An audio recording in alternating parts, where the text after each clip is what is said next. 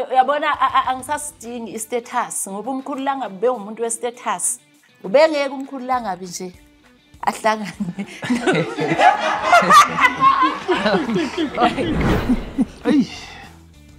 Mina nje mengakhuluma iqiniso ujesu akaze angisize ngalula angifuni nje ukukhuluma amanga akaze angisize ngalutho angaze futhi ngize ngicele lutho kuyena. Angu angisideleli i- umbono kamakhosi Thank you. eh Yes, ngeke we understand. ushilo vele uthi uyangithanda le powder le edayiswe yitolo oholy ash iy'cubu zalabantu laba angazi bazenza kanjani? No no no holy essence yes. Same as iweave. Yes. iweave isuka kuwamandela no yes. essence no. yes. Yeah iy'cubu yes.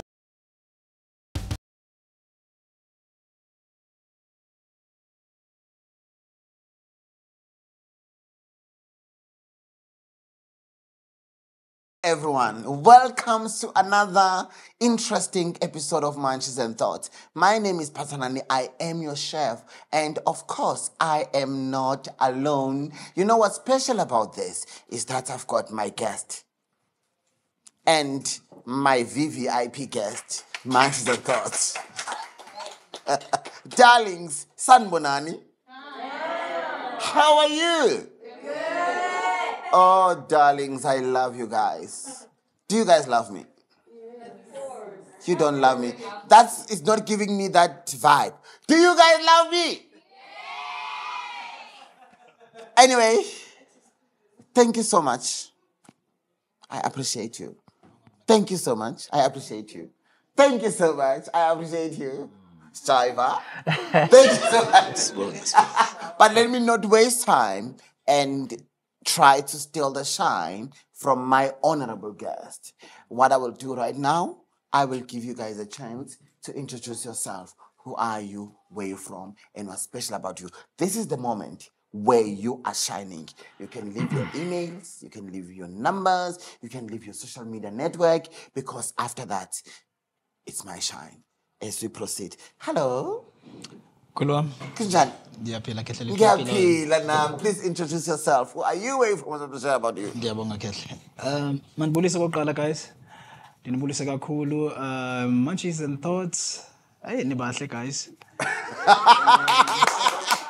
ngiyabulisa kakhulu lona ke ngomkhulu chaba ngomkhulu mahlebo obuye ezantsi eastern cape ngizalwe emount fletcher entabelanga ezigadini ezibovu ndakhe emaclear apho ndisebenzela khona umagqorha ahlangene ngaye ke lona. Kanti naye phakathi kwabo ziyamshaya kanti seshaya iqala intombi yayibulisa iyamqoma ikhuza athi mm andikho kulo manyala ndiyabulisa ntombazana. Ndiyabonga guys. Eh makhehla mahle. Eh njengoba benditshilo ndathi ke mna ke ndizalwe emount fletcher. Kuyindawo nje phaa isezantsi emakhaya kulapha ndizalwa khona. And i'm not ndiyithanda leya ndawo kulapha ndizalwa khona ngaske sonke sizinyange sibe njeya sizithande ungathi xa uqala uba nemali uhambe uye edolophini uzenze ingathi ungasetawuni mna ndikwasemakhaya and ndiyathanda ukuba ngowasemakhaya Yes. ndiyabonga guys Wow. You, you, Kamaku, we can say that loud. Can you appreciate my guest? Um, before you go far, uh, you know, there's a part where you said, ntombazane." intombi iyamqoma ikhuza athi mm andikho manyala ndiyabulisa Okay, you can give them your numbers if you want or social media pages so that if they want to contact you after this episode, they can do that. ndiyabonga khehle lihle You are more Eh, okay guys mna ke ndifumaneka kwinamba yami engu-072 688 0011 072 688 0011 no-073 7068 952 uh kufacebook guys andimnintsanga i've got a, a facebook page enguzince ngesinto sakho inyani ayibulali. Uyandifumana ke kudr chawe tv kuyoutube undifumane phaa kutiktok. Uzawufika ndiyekelela izidlele phaa udr chawe. Thank you so much, uh, uh, Dokotela. Yebo, Wow, mkhulu. ngiyabonga. What I want to say to you, thank you. Yebo, Yes. mkhulu, kakhulu. Eh sanibonani nonke Mama Ntshisi siyalibonga leli thuba esiphi- esiliphiwe kuMama Ntshisi nikhuluma nomkhulu langabi nikhuluma nomama unkosazana nikhuluma nomthunzi wezwe nikhuluma nomanqoba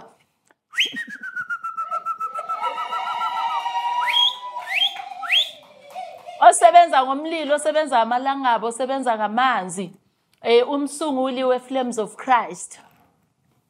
Eh umkhulu langabi unebandla ungumthandazi ungumsunguli weFlames of Christ. Upastor ungumelaphi. Uyawasebenzisa amakhashakhashana ukuthi into zihambe kahle. Uyelapha. Uyelapha. Umkhulu langabi is a former health professional.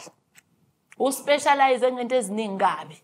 Eh eh, eh, uyabona a- a- angisasidingi istatus ngoba umkhulu langabi bewumuntu westatus ubengeke umkhulu langabi nje ahlangane.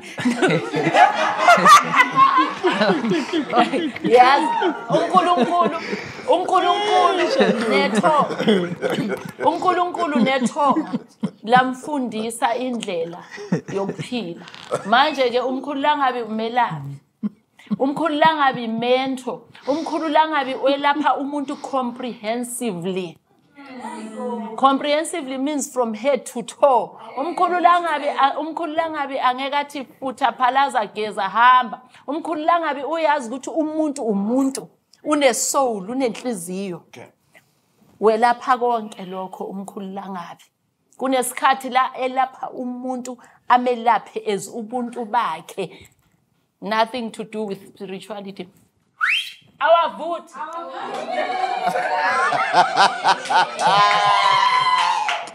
Umuntu, umuntu ngabantu. okay, before I go to my next guest, eh, just in, in, in 30 seconds, what do you mean by saying amakasha kasha? oh imithi imithi emihle eyokuthi into zivuleke izinto zakho ezivalekile zivuleke kodwa umkhulu langabi umthandazi Oh, okay. eh Thank you so much. Yeah. Sawubona. awu njani Njani? ah siyaphila siyaphila siyaphila Awusijiva wami lo namhlanje. Yabazi Jiva. Jiva is a musician, right? Se- sengize ngavuma kudala bengibiza ngosijava Not this Jiva, it's Jiva. I sengize only know Mariah ngamukela Carey and Josh Groban. Anyway. okay, someone. Linjani chef Sikhona kunjani? ah siyaphila Please chef introduce yourself. Who are you? Where you from? And Yeah. what, before you go, your numbers. Do you want to give them your numbers? yes Give them, please.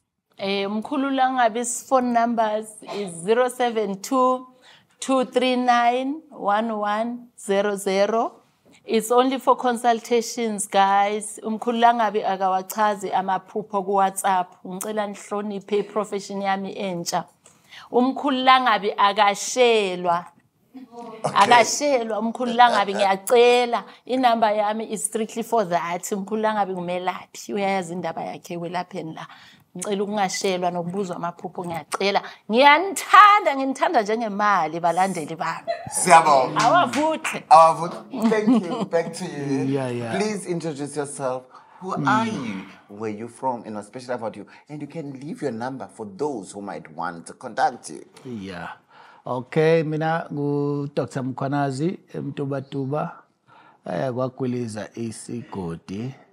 Ilapha ngawo kamakhambe esintu eh ngayo yonke nje indlela ngithi into kwelapha eh ngithi angibonge ithuba nami ukufika kule ndawo ngibona abantu. Eh ngijabulile futhi ukuba isimenywa eh ngiyathemba mhlawumbe nangelinye ilanga kuyobuye kubuyeke. Okwama-numbers ke ngizocela ungawashiyo kwanamhlanje sobuye siwashiye ngelinye ilanga eh siyabonga akuyiqhenya yazi ababathi guys ababathi i know zababathi that ngizobona ukuthi mhlonto anyway sawubona Eh Sonchinas. Oh, you all know Shoba. Shoba is our resident. Yeah. And uh, Ushoba is one of the people that Bunches and Thoughts, he is there. He's one of the people that he support Bunches and Thoughts. And he's just humble. Shoba, I love your humbleness anyway. Anyway, pros- ah, where's the hair? Isicone. Eh uyangibona ungiboni. Eh ngike ngithi ngiqala phakama mdidiyeli insizwa emidwa midwa wena amakhanyise komnyama ilanga lingekho. Bapho ma- gede mjendeza ngezinye iy'mpande mthamatsimbi nesimumi nesihlahla ezingahlaziye ezimensi shiya inhliziyo zamadoda Bapho ayibungu mama. ngushukela kwabangizonda ngushukela kwabangithanda ngenhlabo kwabangizondayo. Ushobe elikhulu ushobe ezilamana ushobe lendlula mthakwezinjula doli yesizwe siza ngemiyalo. Bembe kaloko kuthiwa magujwa. Wena ombezimbi wazingambiki ziyadwebuleka um ushobe elikhulu lo wakwasimelani ovela endaweni yase-northwest province eklebhal sofa sonke eh imngcele yepretoria ne-northwest kulapho ngitholakala khona. Ngumlaphi wendabuko? I'm the native shaman ngumuntu ohlaziya ngokuze umoya spiritualist eh ngumuntu la othwasisayo I mean initiator ngumuntu ohlaziya amaphupho I'm a dream interpreter and ngumuntu oyenza injulo ethile esiyikhuluma masifike esigodlweni. Eh ngibonge kuzwa kwethu lapha uchawe omkhulula ngabi o- o- omkhulu umkhwanazi lapha eh ufana futhi. Eh lapha ke nawe sontshinga sengibonke nakubalandeli bonke beManchester and Thoughts abasemakhaya lapho basithola khona. Nani nifikile? Siyajabula ukunibona bafowethu ngijabulile ngibeka phansi kunini esixoxile nalabe sazoxoxa ngibonge.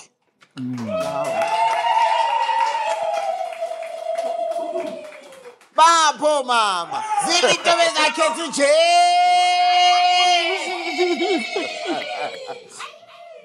nje. Babukeli bamakhaya, thank you so much. Let me say this to you, all of you. Hmm. I don't take you for granted. To my munchies that are here with us today, I don't take you for granted. To my munchies that are watching us, I don't take you for granted.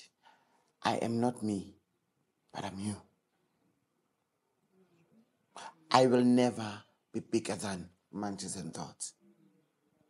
I will never be important than Manchester and Thoughts. To my manches, I meet you every day now, guys. That's so beautiful. Some of you, they will just come and hug me, like, who are you now? Some of you, they will come and like,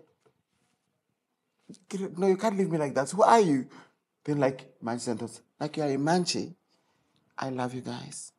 And please, I'm not bigger than you. You are bigger than me. Thank you.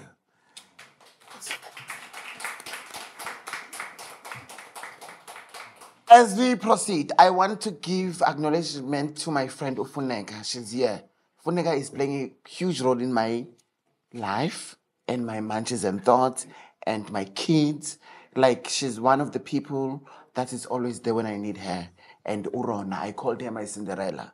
If you guys can stand up just for my munches to say hi, I will appreciate that.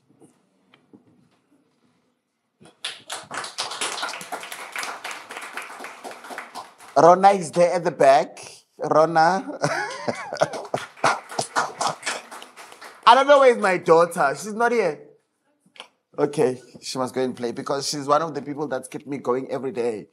Yesterday she gave me a flower, smaller than a flower. Daddy, this is for your shoot. I had to put that in a glass, leave it to my house, and but I was so it's a pink flower that she picked from our garden. Just so yeah, she keeps me going every day, every now. And my dogs, they're not here. They are very special. I don't want to lie to you. And uNomthandazo, she's not here. She's uh, Nomthandazo is a chef, guys, and she's a, a, pastry chef. So Nomthandazo, she knows when I'm doing this big like this, she must work. But if I'm not, I work. But she's always stand by me, and I always stand by her. And I want to say thank you. And they're coming to the team that is doing this job before I start this, eh, because it's season ten. Black Studios and I were from far. And I will say this with pride because these guys, they know me in my moments where I'm like, you know what, Ne? I'm firing you, all of you now. Why this? But they will stand. They will be like Patanani, even if I don't want to talk to them. So, what I want to say to these guys, they are here now. Thank you. I know what I can be a diva. I can be a diva in the morning, in the afternoon, in the evening. But I want to say thank you Whenever I want to do anything photo shoot, that's why my work is quality, is because of them. So, guys, if you want to hire them, you are more than welcome.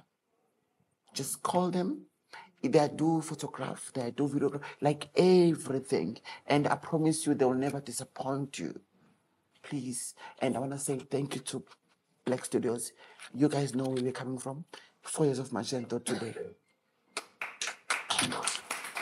That's no Mtanazo, guys. That's no Mtanazo. so thank you. And and to you, Manches and Thoughts. Thank you so much. We are still going far. Sisai Eastern Cape. Eastern Cape, ne? Yes, Kesha. Sisai Mtuba Tuba. So, as I proceed now, business of the day.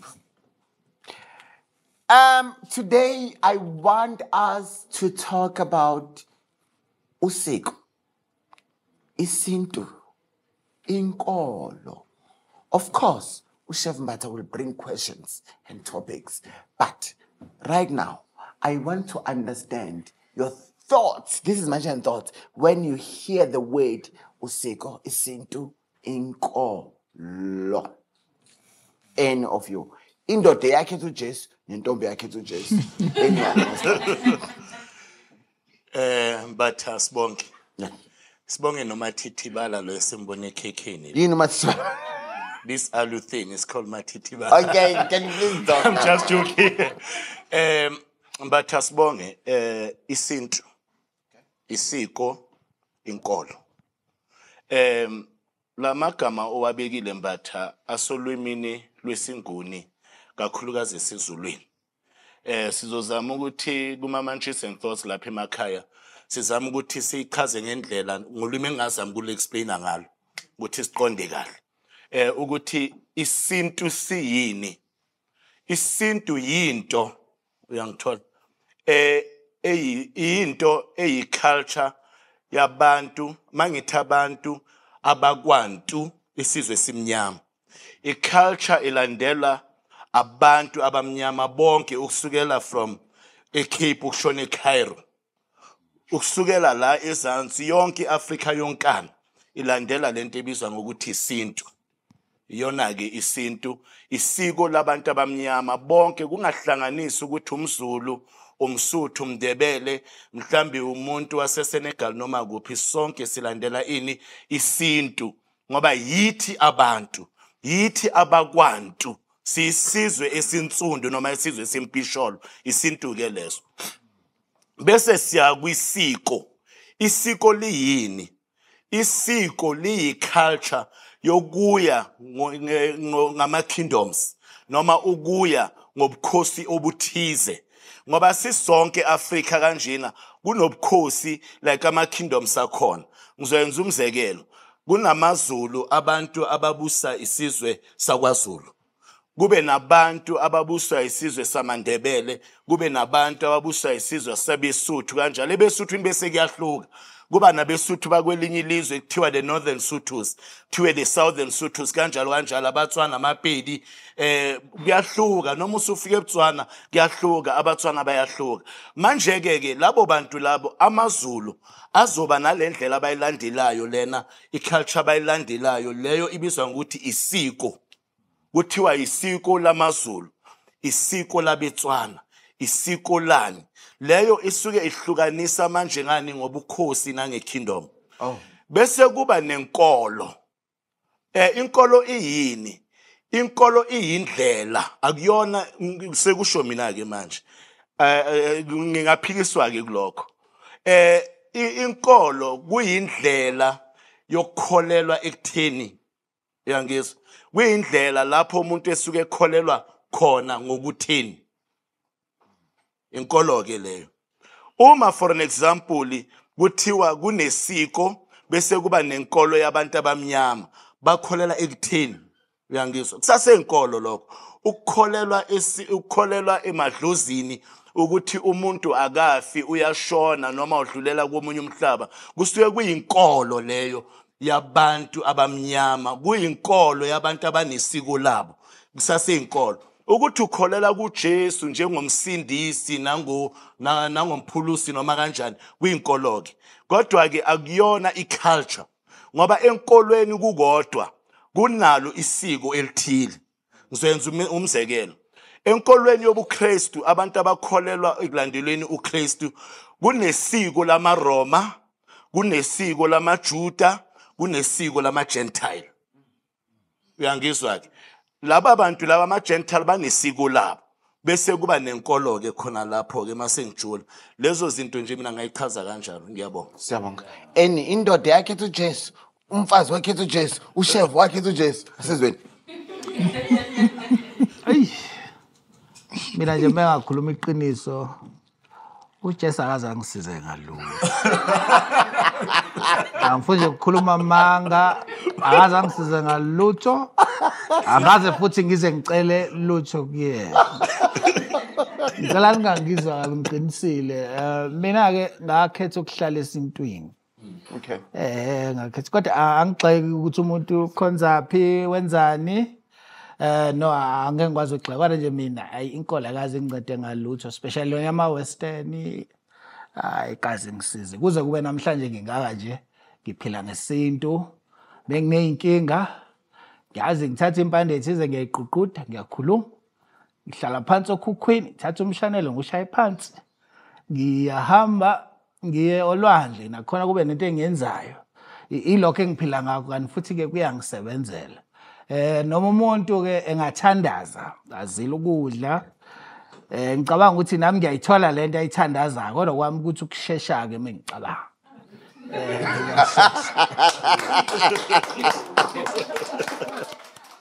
Eh imbangela ke ukuthi ngingakhonzi eh izithixo zabezinye izizwe eh ngokwenhlanhla yami yobudlozi.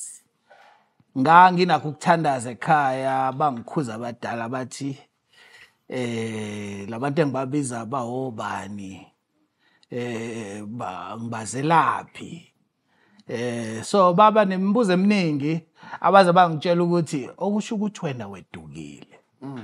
So ngabe sengibuya nganenoke nempilo yathi ukushintsha futhi abangcono ingakho ke mina inkolo kakhulu nokukholelwa nje kunoma ikuphi ngi ngikubhekisisa.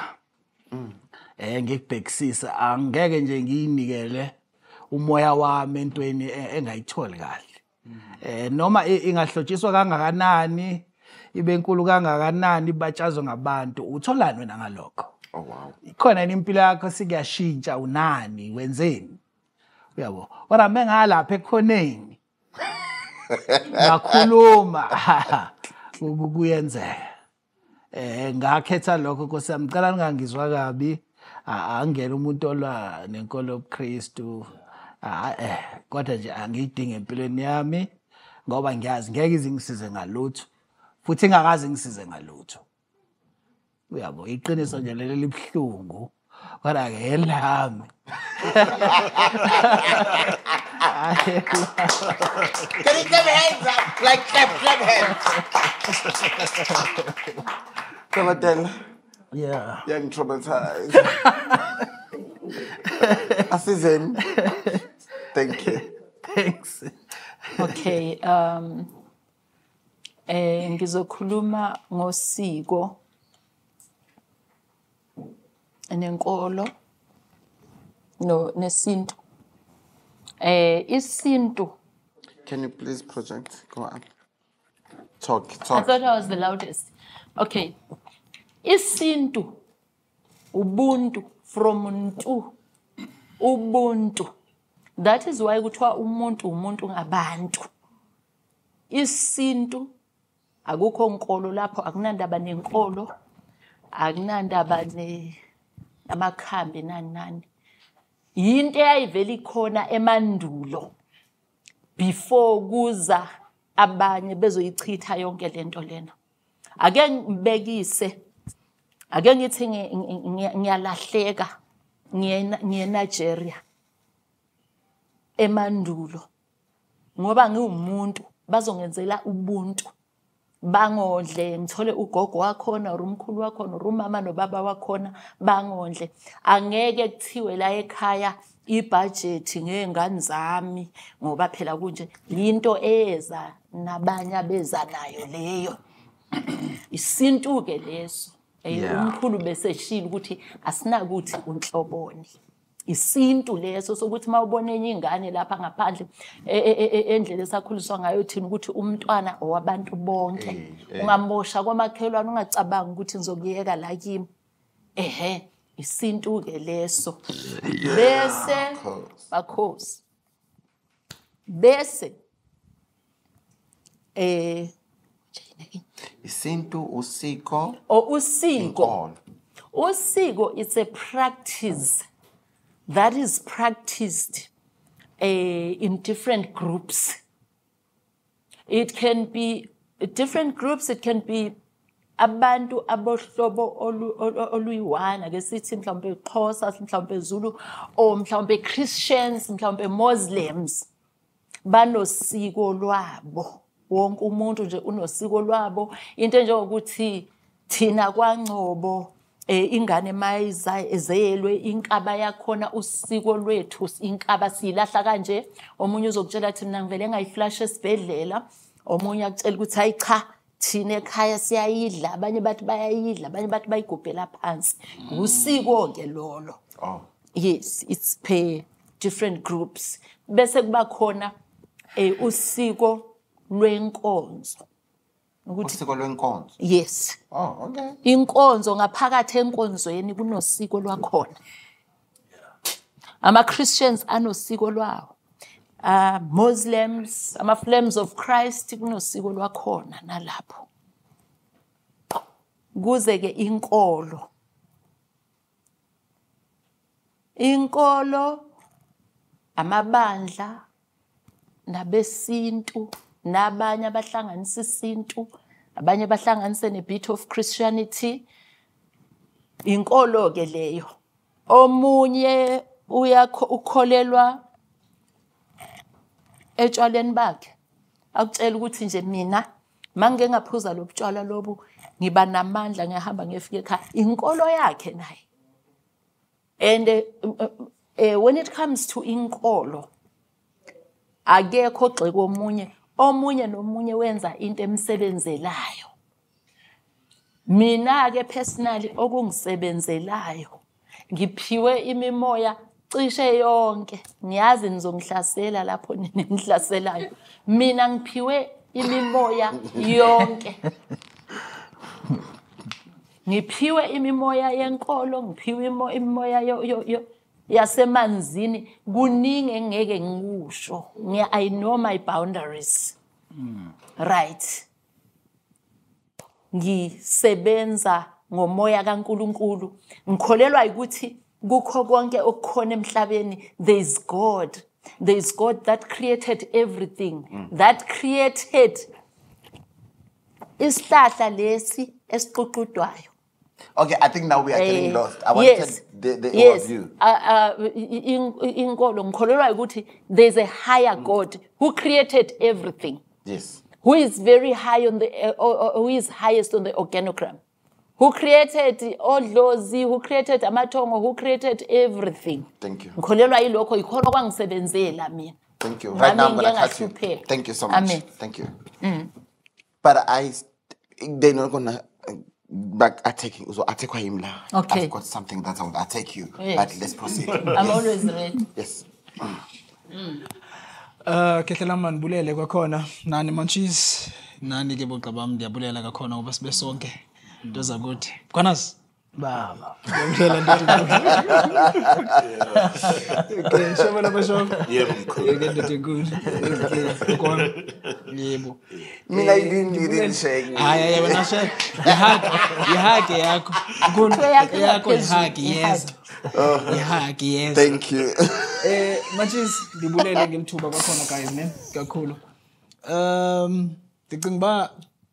sendiza ukwenza kuba kusenziwa ngoba umkhulu babagqibile. Yeah yeah. eh and le nto endizayithetha yile nto abayicacisileyo Yeah. bonke. Um inkolo ndizawuqala ngenkolo guys I- inkolo ne I- inkolo njengoba betshilo umzekelo ndiza kwenza umzekelo ngam ne-spiritual group yam. Thina inkolo yethu yibuyambo you understand? Xa sithi inkolo yethu yibuyambo thina sikholwa eh ngezinto zamandulo. Sikholela kwento zikuthiwa zikhona uJesus nobani bani? Asikho kulonto. Into yethu siye siguqweni entabeni siyokwenza laa nto yayisenziwa ngokhokho bethu. Senze laa nto esiyikhonjwe zizipiriti zethu namadlozi ethu uba masenzene inkolo yethu ke leyo ibuyambo umzekelo every january siphezu kwentaba for three days uh, every june siphezu kwentaba for seven days. Ngoseptemba sisemanzini for iintsuku endingazunibalisela zona senza inkolo yethu inkolo leyo yethu. Then sibuyele size esikweni eh isiko nto zobawo eh isiko ndingathi xa ndiyihombisa i-plate number okanye i-number plate e- e- esohlulayo njengoba simnyama sonke. Eh njengoba engumkhwanazi pha as amakhwanazi banesiko labo lamakhwanazi. Ongcobo banesiko labo longcobo. Otshawe banesiko labo bengotshawe mna ke ndizalwe ebukhosini sibuye ebukhosini thina ekhaya not ecala kobukhosi um sibuye size esintwini. Isintu into zakuthi yinto Just that Just hold on, doctor. Okay. Guys, can you please? That thing it affects me as the host. So can you imagine how it's gonna go to them? Please, can you just wait? When they're done, you can stand up. Proceed, doctor. ndabulela khihle lam um isintu ndingayibeka ngolu hlobo mandulo. Sawuza ngoku. Mandulo kudala njengebetshile ugogo watsho umkhulu watsho naye umkhulu. Yabona kudala kwakunesintu sokwenyani hayi esi sikhona sefake. Eh kudala indoda etyebileyo elalini eh umzekelo ekhaya apha ndizalwa khona. Ekhaya ndikhule kufuywe kakhulu kakhulu. Ekhaya akukho umzi wayefuye njengasekhaya kwezalali zonke. Ikhaya lam lalimele ezalali zonke. Kwakusithiwa xa kuyolinywa izipani zenkomo zibawatsho zibe yi-eight zoyi-eight zizawuphuma ziye ezigadini zabantu. Tatomkhulu uthi makhwenkwe vukani nibophe inkomo. Sisintu eso. Bubuntu obo. Isintu somntu omnyama kukumazi omnye umntu omnyama. Kukumazi omnye umntu. Asoze umntu ahambe ngeenyawo kunetha uhamba ngemoto ngoba ke kunamhlanje asikwazi ukuyenza loo nto.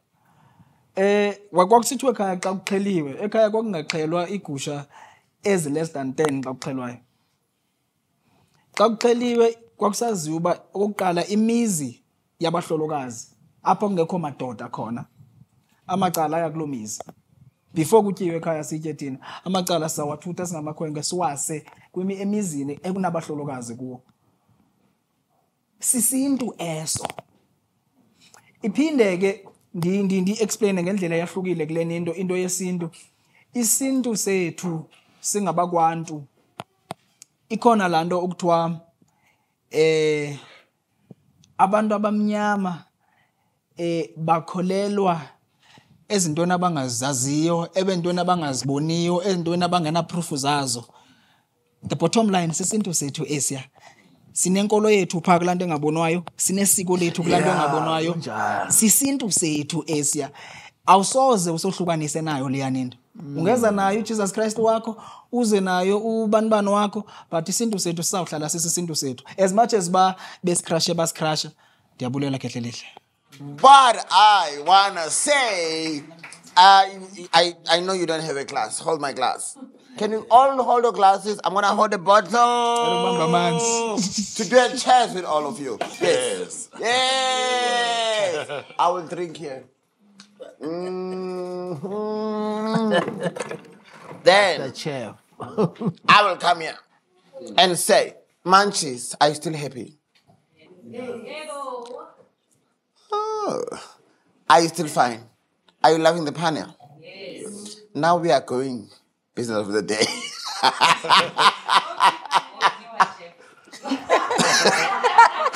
Who said that? I want to see that person. I am going deeper now. Um, thank you. I asked you guys about. Uh, I said we are talking about isintu, inkolo, usiko. Now Chef is bringing the topics now, because I'll bring the theme, guys. That's what makes us different from all the shows you can think of. Now, hey, nikhulumile into eningi. Guys, singabantu abamnyama nichazile ukuthi njengabantu abamnyama isintu nonke actually nonke nikhuluma into efanayo makuziwa kwisintu. Now I'm coming to practice. Guys, we from 20 COVID-19. COVID-19 where our loved ones passed away, mm-hmm. but we couldn't bring them in our houses. And where our loved ones, they were wrapped in plastics in the coffin. Where our loved ones, they had to be outside whilst now we are preaching, the pastors, we are praying. Ku, hey, abafundisi. Hey, umodimo alite. Now, what I want to understand, Kunina, engifuna ukwazi, your thoughts when it comes to what happened in COVID-19. We had a lot of people abahambile emhlabeni. Like I've got some of my friends where their husbands and their wives, they never get a chance to go to their houses. As abantu abamnyama manikhuluma nokuthi isintu. As much as we didn't go far, that's why I need to practices. So, what's your thoughts? What is it that you can say about COVID 19, guys? Let's be honest to whoever that's watching and whoever that's here. Like your thoughts, because a lot happened, guys. indoda yakhetha ujesu intombi yakhetha ujesu Okay. my aim was not to make you tired yes dr chawe Alright, um mandiphinde ndinibulise kwakhona mantshisi. Ndibonge kuwe ke mkhulu wam kwakhona ngelithuba. Eh khehla lamakhehla. Uyabona lo mbuza nawo. Eyi ngumba ochisibunze. Ochisibunze njena. Ngumba oyingxaki. okay Eh uyingxaki kwisizwe simnyama. Uyingxaki kubo bonke abantu abaphilayo emhlabeni. okay But ke ngoku ndizawustika to isizwe semnyama. not a problem Yeah. Uyabona indaba yecovid khehlela amakhehla. Um andazi kokuqala noba ufuna ndingena in terms of ukuchaneka kwethu esintwini ekufeni kwabantu abe- abe- abarechwa ngeplastics okanye ndiyigeneralize yonke ngifuna yonke ne don't want all of it guys unless you've got your own. Okay. Okokuqala mkhulu wami ne? The so called COVID right? Uh, i-COVID it is one of those um, weapons ezisetshenzisiweyo from the lab. You understand? From the lab to attack. Because kunabantu abathile abacontrola aba- abacinga into yokuba ba-in control of abantu abasithi. You understand? Okay, okay. um mkhulu i-covid wena ndoda enkulu. It was brought ukuzo ukuzophungula inani labantu abaphila emhlabeni. One. Number two i-covid yakhutshwa because of imedia. Imedia yayenza ingathi it's worldwide. I-covid it was never worldwide. It was never worldwide mna benditravela ngela xesha le-covid. Umzekelo before kufe i- laa nto ke ipresident yasetanzania.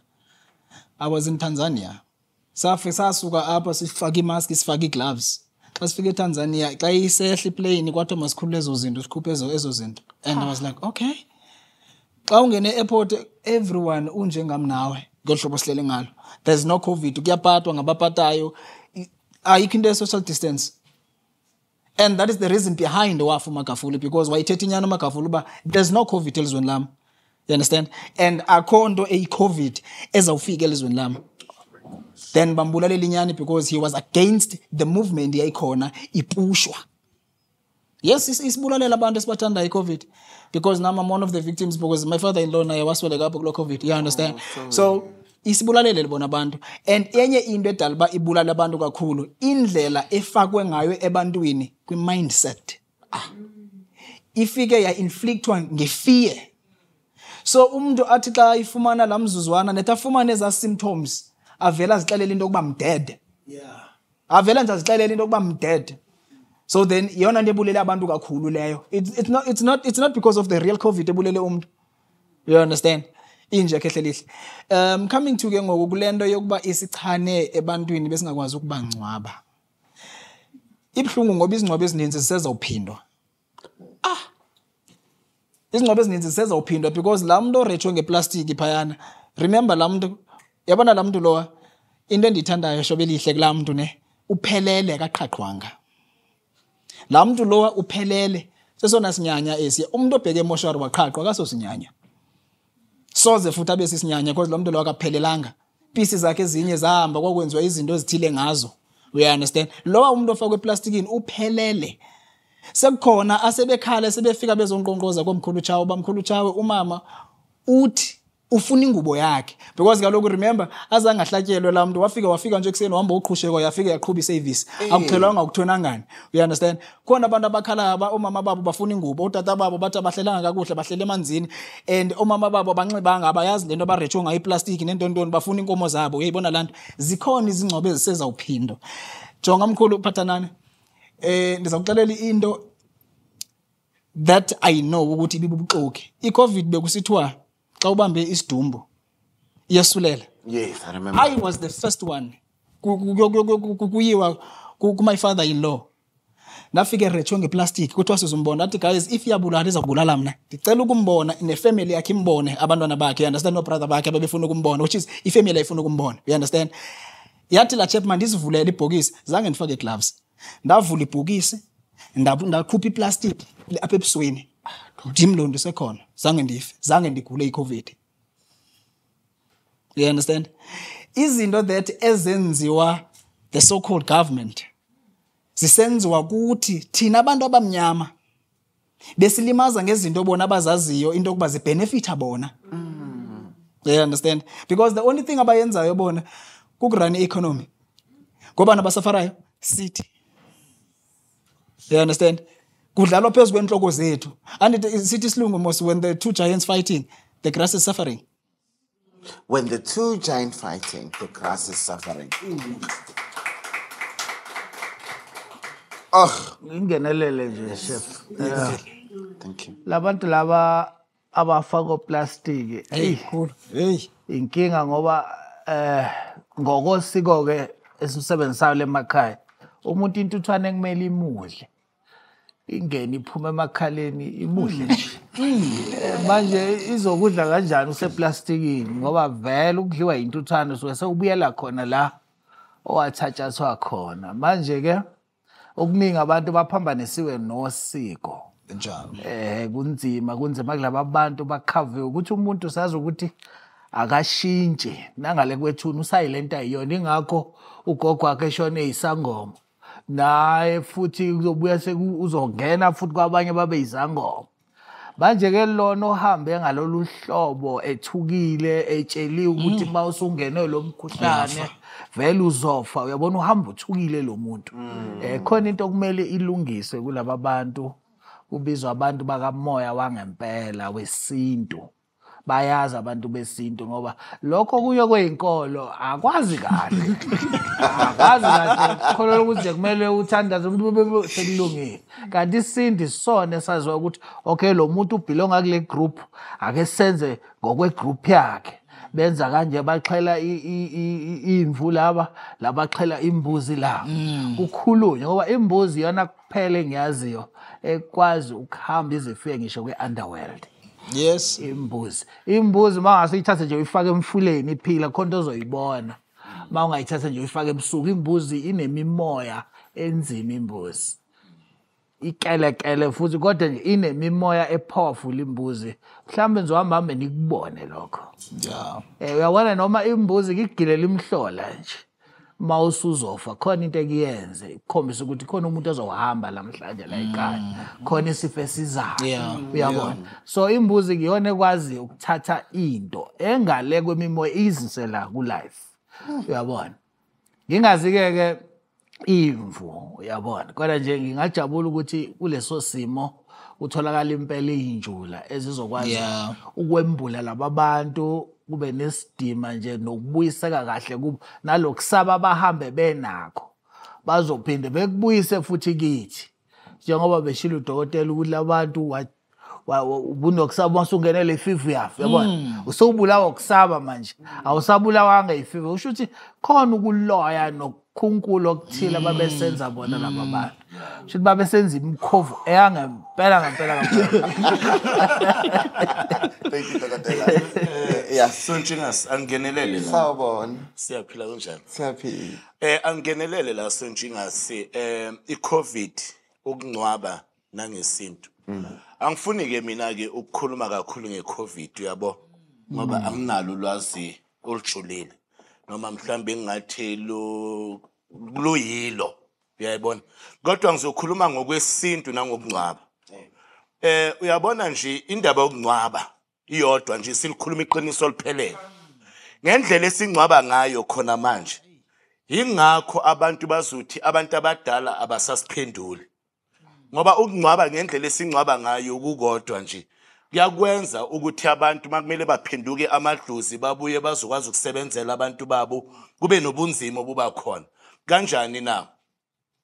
Eh umuntu uma engcwatshwa eh akangcwatshwa umuntu e- efaka amakinopho kanje ebophini. Nebhandi leli liboshiwe kanje. Njengokuthi usuthola umuntu esegqoka isuthu netayi laphayana amakinopho avalekile nebhandi kuthiwa ini ini. Kuyingozi lokho. Abantu bakithi bebangazona iy'lima mhla bengangcwabi ngebhokisi bethathe inkomo berepe umuntu. Akunala khona kufike kuboshwe somewhere. Uyangizwa ke? Manje uze umuntu athi hayi kade singcwaba lana abantu abafiki nokufika nokufika. Babophekile lapho bakhona. What more mase sifaka manje iplastic? Uyangizwa? Umuntu akasafiki ngisho nasebaleni sayokhala uyasho umkhulu tsawe. Kusazokhalwa kuthiwa umalume ungale ngaphandle udukile ufuna ukubuyiswa ekhaya ngoba akakaze agande ekhaya ngoba ngendaba ye-covid kuthiwa hayi somngcwaba njengephopha. Uyabona abantu abamaphopha? Umndeni awukho akwenzakali lutho. Ugovernment ubafaka bayi-18 bayi-19 ebhokisini elilodwa. Lokho kungcwabo kunjalo kuyinkinga. So i-covid ilimaze amakhaya amaningi ngokwesintu. Ilimaze amakhaya amaningi ngokwesintu ngokuthi abantu bangcwatshwe bavalwe ngamaplastiki kanjalo in all those things. Njengoba esho umkhulu la ukuthi kumele sibheke izinto ezinjalo kuyisintu vele ukuthi and kuyindalo. Ukuthi umuntu uma ebekwa ethuneni kuba nezilwane zangaphandle nezilwane zangaphakathi noma izilwanyana zangaphandle nezilwane zangaphakathi ekumele uzifiste kule nyama leya lo muntu. Uyangizwa Ukhuluma ngentuthwane. yebo bakhuluma ngentuthwane ekhulume ngani ngempethu lezi ezivela ngaphakathi manje ezangaphakathi ezakheka ngaphakathi esidumbini bese zidle ngaphakathi ziphumele ngaphandle. Khona ezangaphandle zingena ngaphakathi. Uyabona masesiganga manje sesithi mhlambe sikhanda umuthi wenhlanhla ngento ephilayo eshonile ngithi. Mhlambe ikhanda lengulube kanje sel- selikhandiwa ngendlela ethile. Lithi maselifakwa lapha emgodini uyangizwa libekwa laphana. Ngalesikhathi kucala kuvela ini intuthwane lezi nezibungu lezi kulapho selidonsa khona inhlanhla. Ngikhuluma egangeni ke manje angikhulumeni ekuphilisini ngithe egangeni. Isukelaphi leyo nto leyo ukuthi mase ibungu masicala zidla laphana noma intuthwane zidla laphana ziphakamisa inhlanhla? It's the very same thing nasemuntwini as well. Uma ngaleso sikhathi le- lezi zinto zenza umsebenzi wazo kukhona ukukhanyiseleka okuthile emndenini. Manje mase ngase leyo process mase sengasayenzakali kahle then uthola ukuthi lo muntu osehambile akasahambanga kahle. Kodwa kungumangazi eh mkhulu eh lapha lento eshilo ngabe belumbi. Masikhuluma ngebelumbi noma ebelungu sikhuluma vele ngabantu abanenzondo for isizwe esimnyama. Yeah. Yeah. bazoza vele basidukise. Bathi nihlangene ninonke ningabantu enilandela isintu ninonke. Bangene ba-divide and rule. Bese kwakhekani manje amasiko angithi la masiko ayaklasha abanye bahlaba imbuzi abanye bahlaba imvu. Silwa sisodwa la. Umkhulu uthi kodwa imbuzi iyona eyenzani ethinta lapha emsamo eshona ezansi. Ngiyazi ukuthi kuyolwiwa ukuthi hayi mna ndiqhela igusha abakokwenu pha. Mna ndiqhela igusha iyona ethetha ney'nyanya it's a mistake. Imvu ayikaze yakhuluma nedlozi yacelelwa ukuthi ikhulume nedlozi. Imvu ngoba imbuzi besengasakwazi ngeindaba zani zabelumbi ngaphakathi basusa singabantu bafuna ukuthi sibe ngabantwana. Kubona? Sibe ngaphansi kwabo ngoba be-introducer ini lamasiko angazi uyangizwa sontshingasi ngikuzwa kahle. Amasiko mina mina mina I mean I listen to all of you guys. Amasiko lawa esinawo siyindlu emnyama sisonke eAfrika. Eh kuyimisebenzi yabo bona lebelungu labo ukuthi kuze ngenele amasiko. Besasuke lamasiko kuthi mase kunamasiko kulwiwe futhi kube namasiko empilo manje kulwiwe kube nomkhuba semndenini sesiconfuse sisonke ungena enyangeni umuntu akazi ukuthi akulaphe ngesintu noma kulaphe ngesiko lamaXhosa uwumZulu. Noma kulaphe usiko omkhuba semndenini athi hamba yenza lento kanti yenziwa odlamini wena ukhoza so kula silimala khona ke sonje Good last limala khona. I mean, uh, before I come to uh, uh, um, I want to say something. Um, you know, I'm always shooting matches and thoughts, and I listen, guys. Um, I know someday will say I'm drinking champagne, wine. It's okay, but I listen. Um, listening what you're saying, um, I had an episode with Mkwanas, Dr. Mkwanas, one of my favorites as well. You're all my favorite. Um, you know what Dr. Mkwanas said on that episode we did? There's something that he said, and I'm also saying to you, Manches, that are here today and that are watching us. You know, when he was saying that, I was very happy. And I was like, oh wow, this is my You know, Dr. Mkwanas said, mm. ungagijimeli ukuyohlola mm. besikhuluma ngenhlanhla i think he mentioned inhlanhla there. Mm, please remind me you are here ya now. ya kunjalo ya and eh, uh, dr Mkhala said kunabantu vele izinto zabo when they touch this wine it's become gold. If i'm not wrong. Yeah yeah true. And you know when he- dr Mkhala said please don't rush things. I was so excited because i have my manchesters are here and the manchester because guys we are gifted all of us but because we want things that are fast we start doing things that are not supposed to be done. As I proceed, hello. Hello. Um sikhuluma ngeCovid angithi. Yes, my love. Yeah. We're still on COVID. Um from my own uh, personal experiences and uh, personal observations um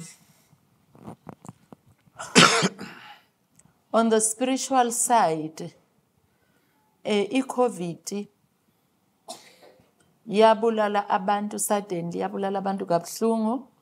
Eh on the spiritual side kuningi kakhulu okwamosheka ngangokuthi people were traumatized abantu basala netrauma abantu basala nemibuzo eminingi engenayimpendulo in the sense that abazange bathola iclosure. U- u- u- ukuthi okay ngimbonile umamami uh, the last goodbyes and their last respecting place which is a grave emathuneni abo abazange babekwe kahle.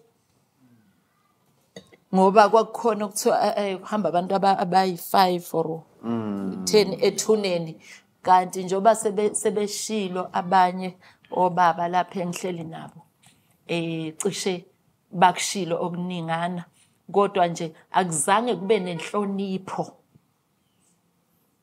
yokubeka laba abantu beCovid. And then okunye futhi trauma abantwana bazange basho their last goodbyes to their parents eh basala ne- benemibuzo e- e- e- engakatholi impendulo kuze kube namhlanje niyabona indaba. Hayi cha mina emathuneni ngiyazi ukuthi umuntu akekho emathuneni. Kodwa nje bengikhalela ukuthi i-last resting place yabo yakhiwe kahle kube khona bathela umhlabathi usiko. Eh ku- ku- kube khona nje into kube kube ku- kuhlonipheke.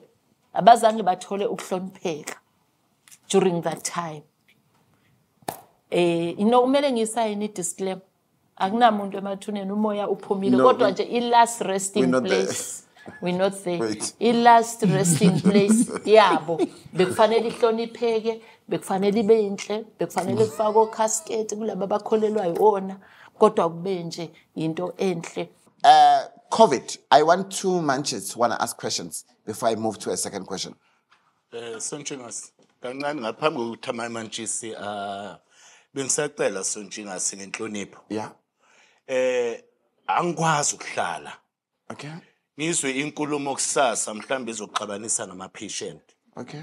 thina siyasho ebantwini ukuthi shona ethuneni uyenza ukuthile Okay. ya silungise lenkulumo ngoba kukhona okubalekile abantu ekumele bakuthole okuyiqiniso ngoba kusasa makala uzothi ubohleli nje wena namhlanje ungitshela ukuthi shona ethuneni ufike wenze 1 2 3 4 kanti akunalutho ethuneni wangasho asikwazi Okay, ukuxabana stop. nabantu Stop. Stop. Stop. Wait. No, no, no, no, no. No, no, no. I'm saying, you see, I'm in the middle.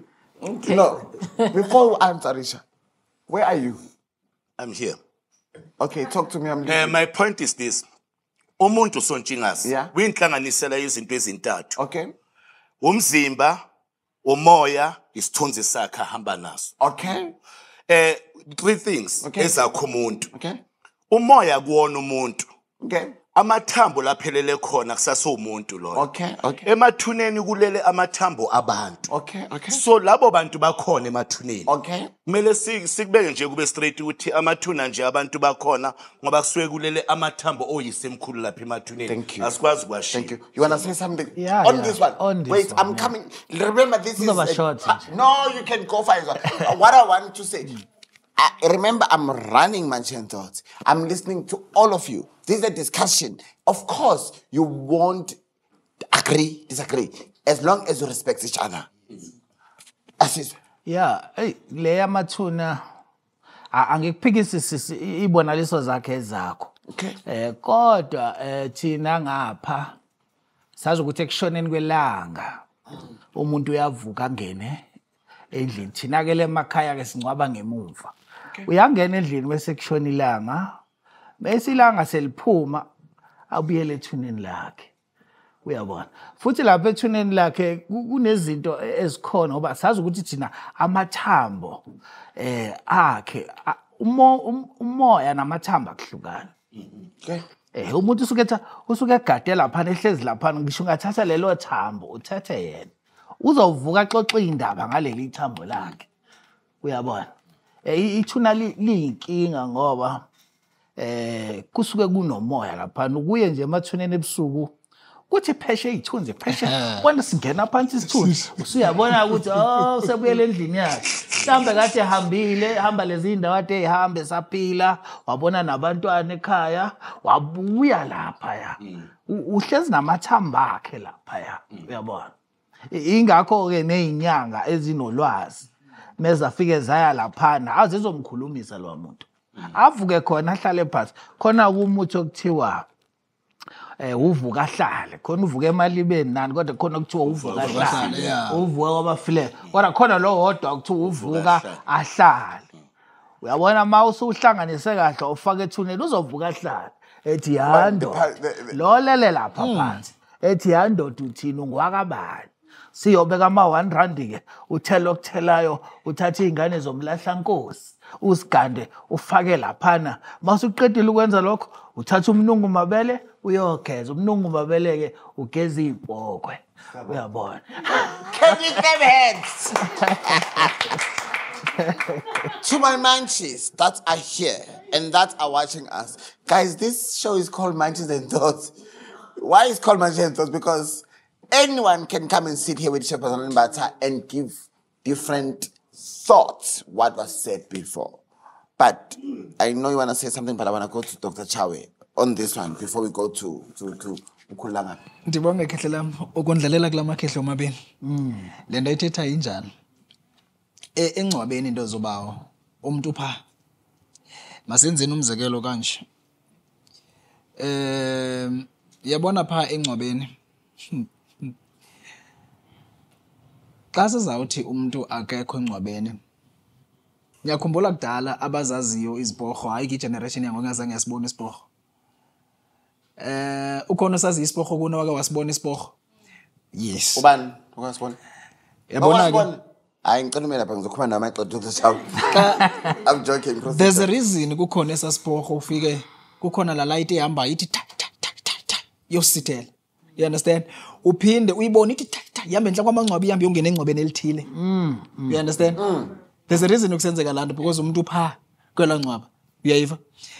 There's a reason whereby umuntu omke namanzi xa senikhangela umntu omke namanzi mhlawumbi kuhlangane inyanga mhlawumbi sesihlangane nonke sobathathu kanje okanye sobayi-four kanje.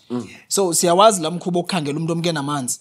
Ufike uba umke namanzi wahambe yakeka wazi ipisi ngepisi ngepisi ufike uba isandla sisepretoria eh isinqe sisejoburg. Inhloko ise-eastern cape iyabona kuhamba iyakeka then kunomkhuba owenziwayo emanzini. Ispiriti sakhe siphakama same time siqala kwidirection apho khona khona intloko oh. Izawulandela esa spiriti niyofumana intloko yakhe apho. Uyaunderstand oh. Is the same thing nalaa nto ipha engcwabeni. Uyayiva? Because kaloku andithi into esebenzayo lelaa thambo nalaa moya azikwazi ukuhlukana ngoba ngoba mkhulu wam ezalandoka eziyami masithi umzekelo ulahleke umntana you understand? Umntana ubulewe kwathengiswa ilanto kiphathi zakhe. Wangcwatywa somewhere you understand? Ndike ndanayo ikhase enjalo e- e- eflosphorus ne? Ya. Um whereby ndiye ndabakhangelela umntana ndamfumana phantsi kwe- kwento umgqomo lo olahla itiphu engcwatywe phantsi kolo kwelaa nto you understand? Yes. Lucky enough safumana ikhimbi yakhe mntana safumana ikhimbi yakhe inomchamo ndacela uba makuze yona into ezaba nento yakhe. You understand? Because impahla yomntana ayisebenzi kakhulu impahla yomntana intsila yomntana ayifani neyethu. Yebo? So kufuneka xa ungabe ukhangela into ezinje ufumane at least into enomchamo into enegazi lakhe mhlawumbi bedlala wa- wa- wasikeka wawanegazi lakhe okanye ufumane into ayikakeleyo umntana.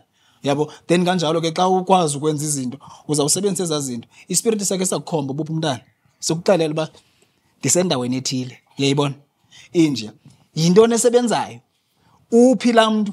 Usengcwabeni phantsi komgqomo uyawuzikhomba apha ekhoyo uba ndiphantsi komgqomo. Uyayibona ilela hlobo. Ndiyabonga dokotela. Um nkosazana now it's your turn. Okay. Mina lana ngiya- ngiya- ngiyayizwa imbono yenu nonke. Njalo ngiyayihlonipha imbono yenu nonke. wami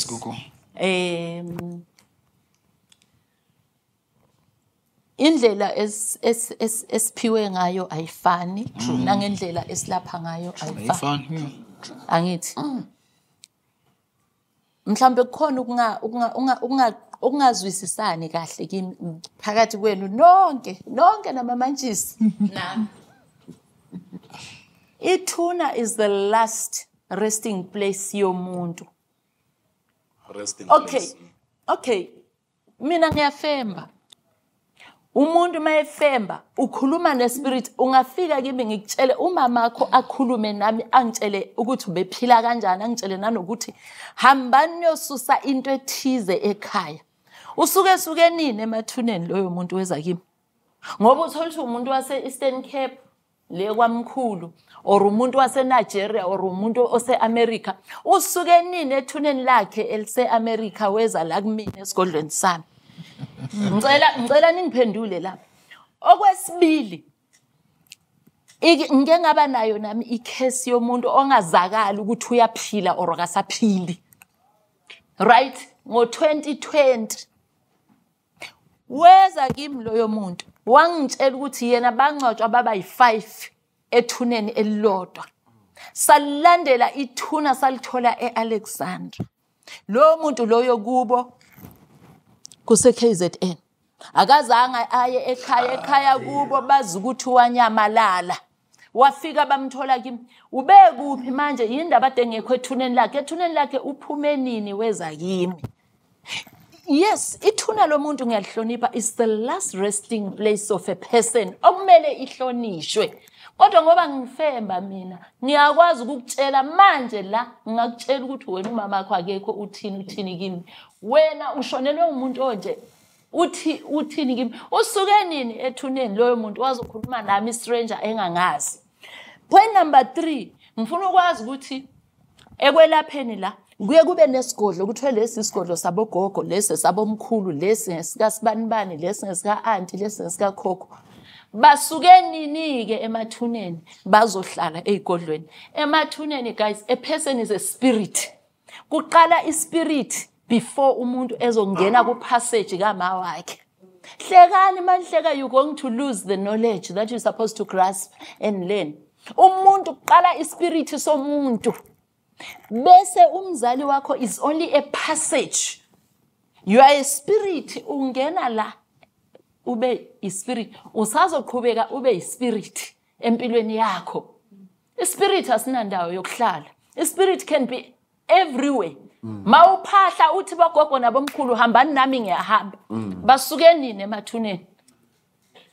Yindaba bengekho emathuneni pho? Yindaba bengekho emathuneni. Ngicela ukungaphikisani inkosi yami. Nalaba abaphasa ama-comments phasana ama-comments but I've, sh I've, I've shared the knowledge with you. I've shared the knowledge with you. And and the knowledge that I'm sharing mina ngiyangena kuma-different realms. Ngikhulume nabantu. Engikwaziyo guys akunamuntu ofayo.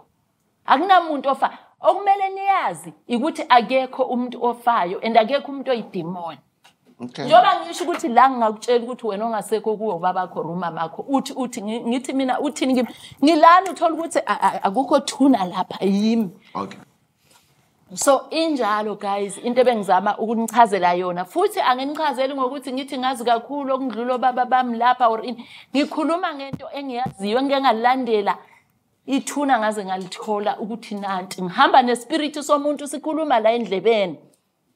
So if eyidimoni umuntu waze kanjani nge-last resting place yakhe kubo bebazi ukuthi unyamalele lo muntu. Wanyamalala kodwa samthola salithola ithuna lakhe kwenziwa i-dna watholakala ngoba ekhulume nabo. Galena Cha, mina. kuthina, ngiyathola. kuhlalu Jesu Galena ngiyabona. So ey'godlweni esinye sabokhokho esinye sabo sibanibani abasekho yini emathuneni masebehlele ey'godlweni. Kodwa ngizocela nje ngiyaxolisa.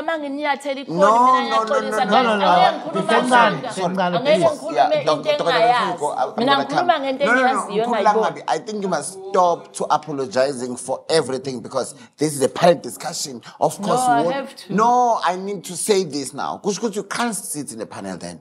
If you're always gonna apologize for smaller, bigger things, because of course we won't see. I and people they will laugh.